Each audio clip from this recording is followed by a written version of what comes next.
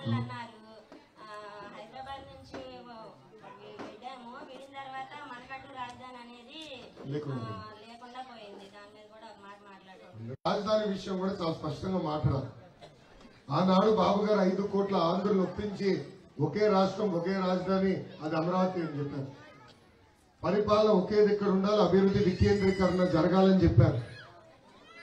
ఆనాడు శాసనసభ సాక్షిగా జగన్మోహన్ రెడ్డి గారు ఇప్పటికీ చిన్న రాష్ట్రం అయ్యాం. ప్రాంతీయ విద్వేషాలు రెచ్చగొట్టడానికి సిద్ధంగా లేను.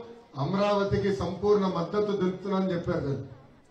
కానీ ఆయన ముఖ్యమంత్రి అయిన రెండో నిర్ణయం. మొదటి నిర్ణయం ప్రజావేదిక కూల్చుతాం రెండో నిర్ణయం మూడు ముక్కలు ఆటలు. ఎవరన్నా ఆఫ్రికాను ఆదర్శంగా తీసుకుంటారు తల్లి? ఈయన తీసుకున్నాడు. మూడు రాజధానులు అంట. కర్నూలులో ఒక అభివృద్ధి కార్యక్రమం చేయాల? అమరావతిని సర్వనాశనం చేశారు. విశాఖపట్నంలో ఎన్నోడు కట్టుకున్నారు తల్లి. ఐదు వందల కోట్ల రూపాయలు ఖర్చు పెట్టి ఒక ప్యాలెస్. ఒక్క వ్యక్తి బతికేదానికి ఐదు వందల కోట్ల రూపాయలు ఖర్చు పెట్టి ఇల్లు కట్టుకున్నారు అంతే.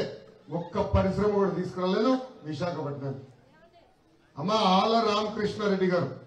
దయచేసి అందరూ గుర్తుపెట్టుకోవాలి ఆల రామకృష్ణారెడ్డి గారు మంగళగిరికి వెన్నుపోటు పొడిచాడు ఇక్కడ ఆనాడు ఏం చెప్పాడు తల్లి ఇక్కడున్న రోడ్డు పైన ఏం చెప్పాడు? జగన్ గారు నొప్పిస్తా. రాజధాని ఇక్కడనే ఉంటుంది ఎక్కడికి వెళ్ళదని చెప్పాడు తల్లి. ఆ వీడియోలు మీరు చూసుంటారు కానీ మూడు రాజధానికి ఓటు వేసిన వ్యక్తి ఎవరో తెలుసా? ఆల రామకృష్ణారెడ్డి గారు. అంటే ఆనాడు ఒక మాట చెప్పాడు చివరికి చేతల్లో మూడు రాజధానులకు ఓటేశాడు తను అమ్మా ఎమ్మెల్సీ సభ్యుడిగా ఉండేవాడిని. కౌన్సిల్లో ఆనాడు మేమందరం పోరాడాం. ముప్పై తొమ్మిది మంది ఉంటే కలిసికట్టుగా పోరాడి ఆ బిల్లు మేము ఆపాం. అది సరైన బిల్లు కాదు రాజధాని ఒకే దగ్గర ఉండాలి అభివృద్ధి వికేంద్రీకరణ జరగాలని మేము నిలబడ్డాం. కానీ అసెంబ్లీలో దానికి మద్దతుగా మాట్లాడిన వ్యక్తి కూడా ఆల రామకృష్ణారెడ్డి. దయచేసి ఇది గుర్తు పెట్టుకోవాలి తల్లి. వాళ్ళు వస్తారు తల్లి. చెల్లమని తొడుకుని వస్తారు. వాళ్ళు అడగండి తల్లి రాజధాని విషయం. దయచేసి అడగాలి తల్లి.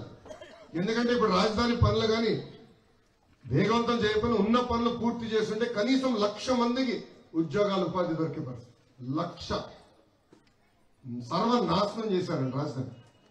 ఉన్న రోడ్లు తవ్వకుండా పోయారు తల్లి అక్కడ భవనాలని సగం పనుల ఆగి అయిపోయి ఆగినాయి.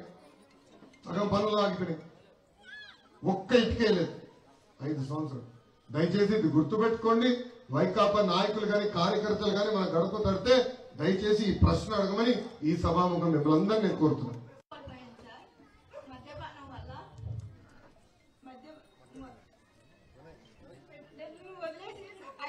మద్య నేను